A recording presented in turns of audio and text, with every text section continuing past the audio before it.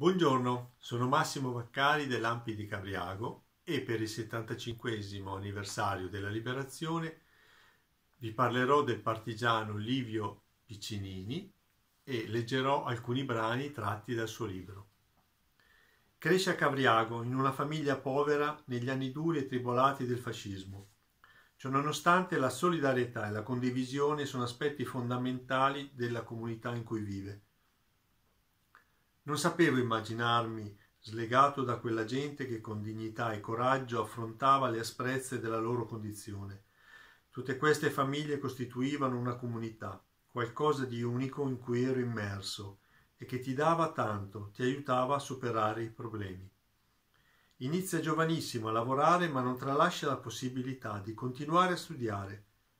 Era un sacrificio dopo una giornata di lavoro, andare la sera a studiare, lavorare con matite e compasso, ma anche una straordinaria occasione per crescere culturalmente, per avvicinarsi all'arte, ampliare gli orizzonti della conoscenza ed acquisire nozioni sul disegno tecnico indispensabili per crescere professionalmente.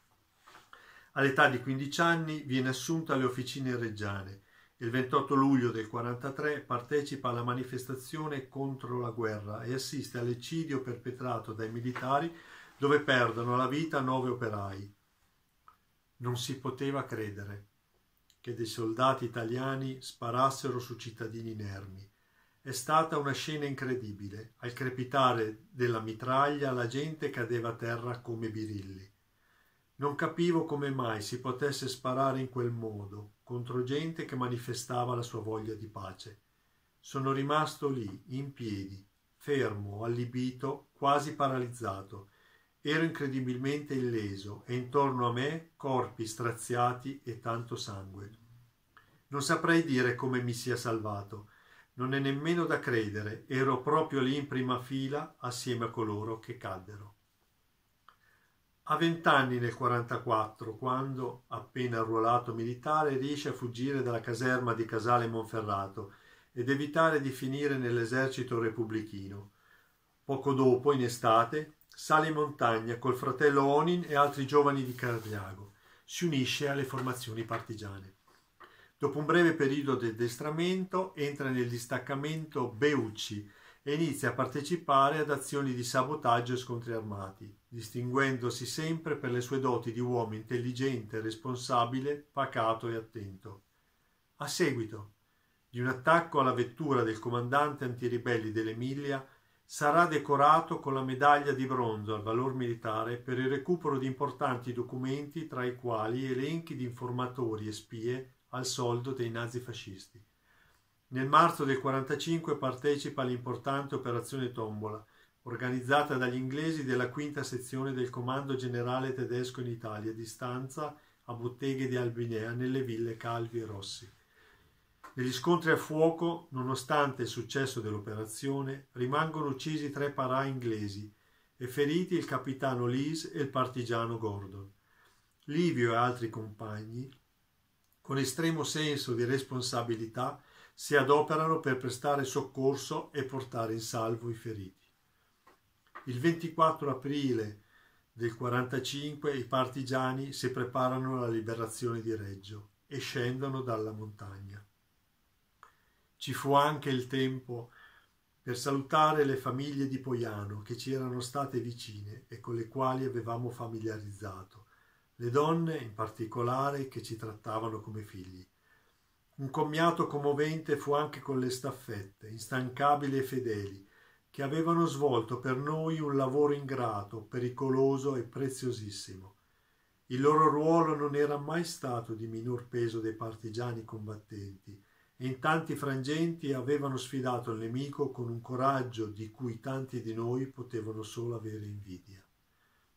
Quella notte gli zaini erano più leggeri, il passo più sciolto, abbandonavamo i nostri monti, il fiume che tante volte ci aveva difeso e che più volte avevamo attraversato. Il nostro pensiero andava alla famiglia che ci aspettava, agli amici, al futuro che vedevamo luminoso, pieno di speranze, ma non poteva non andare ai compagni di lotta che lasciavamo su quei monti, alle amicizie maturate lassù, alle donne e agli uomini della montagna che lasciavamo alla loro vita dura. Finalmente Reggio è liberata, ma la gioia di Livio per la fine della guerra e la riconquistata libertà è offuscata dall'uccisione dell'amico partigiano Piero Mora e di altri nuovi amici di Cavriago nei giorni immediatamente precedenti il 25 aprile.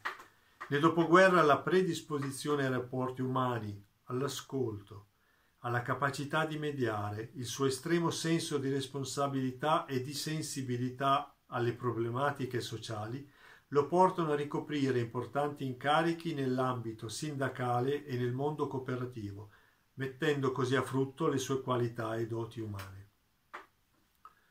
Concludo con una riflessione di Livio, fatta in occasione di un incontro con degli studenti. Dopo tanti mesi passati insieme ai miei compagni, condividendo pericoli inenarrabili, ma sempre con la coscienza di agire per una giusta causa, offrendo l'unica cosa che ci apparteneva, la vita. Abbiamo sempre tenuto alto quell'ideale che ci ha portato a vincere. Perciò queste testimonianze sono preziosissime.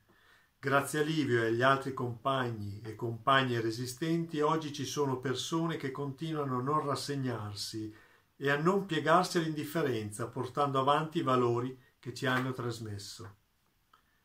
Ecco perché credo che come dice la senatrice Liliana Segre. Coltivare la memoria è ancora oggi un vaccino prezioso contro l'indifferenza e ci aiuta, in un mondo così pieno di ingiustizie e sofferenze, a ricordare che ciascuno di noi ha una coscienza e la può usare. Grazie e buon 25 aprile.